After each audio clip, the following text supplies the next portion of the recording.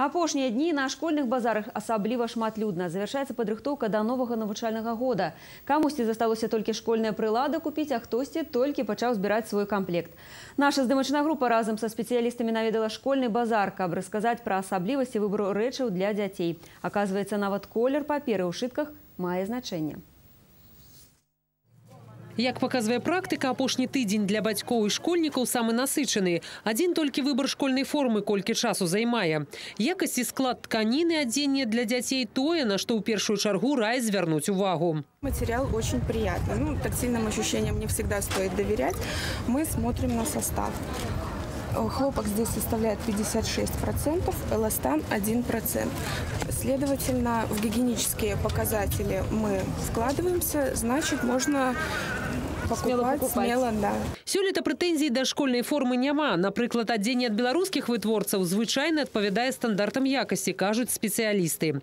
Пытанні часам бываюць да замежных вытворцаў. Вось, напрыклад. В прошлом э, году, как пример, э, была у нас обувь, которая не соответствовала высоте каблука. Э, как правило, высота каблука для детей э, 7-12 лет должна быть не более 2,5 сантиметров.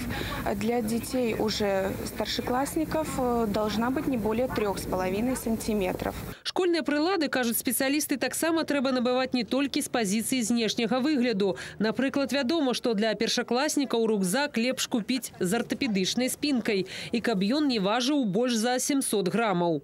Нават сшыткі маюць свае санітарныя нормы. Бумага должна быть офсетная или же пищая.